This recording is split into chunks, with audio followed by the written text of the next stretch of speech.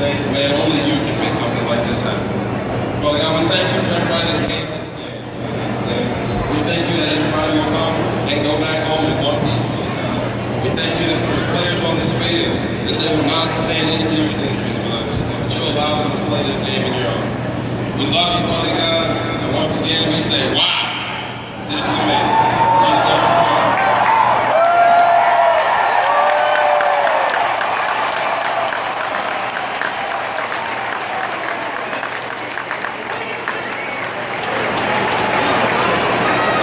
Thank you.